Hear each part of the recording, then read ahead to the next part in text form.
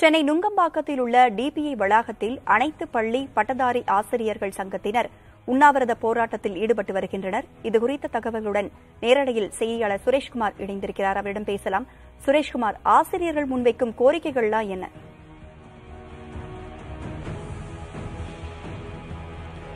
ராதா நாம் தற்போது இருக்கக்கூடிய இடம் சென்னை நுங்கம்பாக்கத்தில் இருக்கக்கூடிய பள்ளி கல்வி தலைமை அகம் அமைந்துள்ள அந்த டிபிஏ வளாகத்தில் தான் இருக்கிறோம். இந்த பகுதியில் இந்த போராட்டத்தில் ஈடுபட்டிருக்கக்கூடிய ஆசிரியர்கள் அவர்கள் வந்து அனைத்து பள்ளி பட்டதாரி ஆசிரியர்கள் சங்கத்தினர் இந்த போராட்டத்தில் ஈடுபட்டு இருக்காங்க.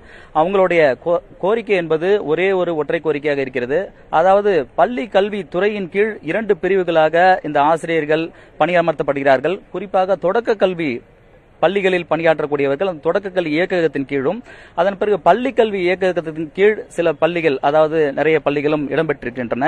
இவர்கள் எல்லோரும் இந்த தொடக்க கல்வி இயக்ககத்தின் கீழ் இருக்கக்கூடிய பள்ளிகளில் பட்டதாரி ஆசிரியர்களாக பணியில் சேர்ந்திருக்கிறார்கள்.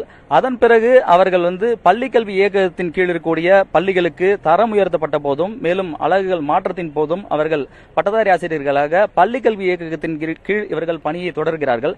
இதுபோன்று இந்த பள்ளி கல்வி இயக்ககத்திற்கு தொடக்க கல்வியிலிருந்து வந்தபொழுது அவருடைய பணி மூப்பு என்பது அது வந்து அடிபட்டு போகிறது.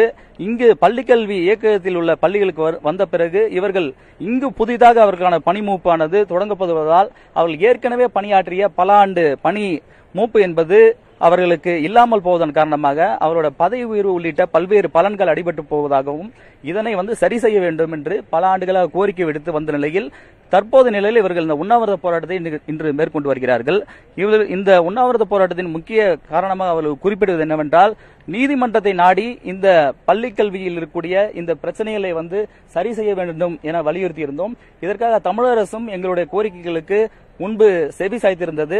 ஆனால் இந்த நிலையில் இதுவரை நடைமுறைப்படுத்தப்படவில்லை என்று அவருடைய ஒரு குற்றச்சாட்டாக இருக்கிறது. இது குறித்து அது அவருடைய அந்த போராட்டத்தில் ஈடுபடக்கூடிய நிர்வாகிகளை கேட்கலாம். சார் என்ன சார் உங்களுக்கு பிரச்சனை இந்த இதை கொஞ்சம் விளக்கம் மு. ராஜா முகமது மாநில பொருளாளர் அனைத்து பள்ளி பட்டதாரி ஆசிரியர் சங்கம். எங்களுடைய கோரிக்கை என்னன்னா ரெண்டாயிரத்தி மூணாம் ஆண்டு முதல் பள்ளிக்கல்வித்துறையின் துறையின் கீழ் தொடக்க கல்வி இயக்கத்துக்கு கீழ் உள்ள நடுநிலை பள்ளிகளில் நாங்கள் பணியமர்த்தப்பட்டோம். மாணவர்கள் நலன் கருதி நடுநிலைப் பள்ளிகள் உயர்நிலைப் பள்ளிகளாக தரம் உயர்த்தப்படும் பொழுது வருட வருடம் நூறு நூறு ப- பள்ளிகள் வீதம் தரம் உயர்த்தப்படும் பொழுது நாங்கள் பள்ளிக்கல்வி இயக்கத்தின் கீழ் நாங்கள் பணியாற்றுகிறோம். அப்படி பணியாற்றும் பட்சத்தில் அடுத்த பதவி உயர்வுக்கு எங்களுடைய பணியில் சேர்ந்த நாளை எடுக்காமல் நாங்கள் பள்ளிக்கல்வி இயக்கத்துக்கு கீழ் வந்த நாளையை அடிப்படையாக கொண்டு அடுத்த பணிமூப்பு பட்டியல் தயார் செய்வதால் எங்களுடைய சீனியாரிட்டி இழக்கப்படுகிறது. சுமார் எங்களுடைய பன்னெண்டாயிரம் ஆசிரியர்கள் சுமார் ஐந்து ஆண்டுகள் முதல் பன்னெண்டு ஆண்டுகள் வரை எங்களுடைய பணிமூப்பு இழப்பு ஏற்படுகிறது.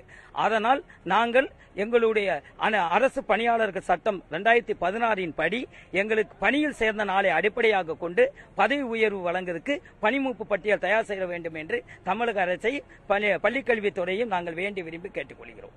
தற்போது ராதா அவர்கள் கூறியது போலவே இந்த பதவி பட்டதாரி ஆசிரியர்கள் ஏராளமானோர் அதாவது ஒரு ஐம்பதாயிரக்கும் மேற்பட்ட பணியாற்றி வந்தாலும் எங்களை பொறுத்தவரையில் இந்த பட்டதாரி ஆசிரியர்களில் தொடக்க கல்வியிலிருந்து இந்த பள்ளி கல்விக்கு இருக்கக்கூடிய அந்த இயக்ககத்தின் கீழ் பணிக்கு வரும்பொழுது எங்களுடைய பெரும் இந்த பனி மூப்பு காலம் என்பது பாதிக்கப்படுகிறது. இதனால் எங்களுடைய தொடக்கப்பள்ளியில் இருந்திருந்தாலும் எங்களுக்கு ஒரு பதவி உயர்வு ஏதாவது கிடைத்திருக்கும். இங்கு வந்த பிறகு இங்கும் பதவி உயர்வு பெற முடியவில்லை என்பது அவருடைய பெரும் குற்றச்சாட்டாக இருக்கிறது. இது குறித்து இங்கு போராட்டத்தில் ஈடுபட்டிருக்கிற பெண் ஆசிரியரிடம் கேட்கலாம். மேடம் இப்ப என்ன மாதிரி உங்களுக்கு பிரச்சனைகள் இதில் நீங்க வந்து சந்திக்கிறீங்க? இந்த பனிமூப்பு கிடைக்காததால. நாங்கள் வந்து முக்கியமாக எங்களுக்கு வந்து இந்த சீனியாரிட்டி கட் ஆகிறது. அதாவது இப்போ ரெண்டாயிரத்தி இருபத்தொன்னு இருபத்தி ரெண்டு இந்த வருஷங்கள் வரைக்கும் நூறு நூறு பள்ளிகள் வந்து தரம் தரம் உயர்த்துறாங்க. நாங்கள் ரெண்டாயிரத்தி மூணுலேயே அப்பாயின்மெண்ட் ஆகிடும் அப்போ பதினெட்டு வருஷம் நம்மளோட சீனியாரிட்டி எங்களுக்கு இந்த டிஎஸ்சி சேர்ந்த நாள்னு சொல்லி எங்களோட சீனியாரிட்டியை கட் பண்ணிடுறாங்க. அதை வந்து ரெண்டாயிரத்தி ப பதினாறு பணியாளர் சட்டப்படி அதை நீக்கி எங்களுக்கு புதிய முன்னுரிமை பட்டியல் வெளியிடும். தற்போது இவர்கள் போராட்டத்தில் ஈடுபட்டு வருவதை நாம் பார்க்க முடிகிறது. தமிழகத்தின் பல்வேறு பகுதியிலிருந்தும் இந்த போராட்டத்தில் போராட்டத்தில் அவர்கள் பங்கேற்றிருக்கிறார்கள். இந்த ஆசிரியர்களுடைய கோரிக்கை ஒற்றை கோரிக்கையாக இருப்பதன் காரணமாக மேலும் இவர்கள் வந்து பண பலன் போன்றவைகள் வந்து எதிர்பார்த்து நாங்கள் இந்த போராட்டத்தில் ஈடுபடவில்லை. எங்களுடைய கோரிக்கை என்பது எங்களுடைய பதவி மூப்பு அடிபட்டு போகிறது. அந்த பதவி மூப்பு இழப்பை வந்து சரி செய்ய வேண்டும் என்பது எங்களுடைய ஒற்றை கோரிக்கையாக இருக்கிறது. இதற்கு வந்து தமிழக அரசு உரிய நடவடிக்கை எடுக்க வேண்டும் என்பது அவருடைய கோரிக்கைகளில் பிரதான கோரிக்கை ஒரே கோரிக்கையாக இருப்பது இருக்கிறது. அதிலும் குறிப்பாக பள்ளி கல்வித்துறை ஆணையர் மற்றும் இயக்குநர்களை பல ஆண்டுகளாக சந்தித்து நாங்கள் கோரிக்கை வைத்திருந்தோம். இதனை செயல்பாட்டுக்கு கொண்டு வருவதில் இதுவரை நடைமுறைப்படுத்தப்படாமல் இருப்பதன் காரணமாக நாங்கள் பாதிக்கப்பட்டிருக்கிறோம். ஆகையால் இதை செயல்படுத்த வேண்டும் என்பது இவருடைய பிரதான கோரிக்கைகள் ஒன்றாக அமைந்திருக்கிறது. ராதா. நிச்சயமாக சுரேஷ்குமார் விரைவில் தீர்வு கிடைக்கும் என்று எதிர்பார்க்கலாம். கள விவரங்களுக்கும் கலந்துரையாடி அமைக்கும். நன்றி சுரேஷ்குமார்.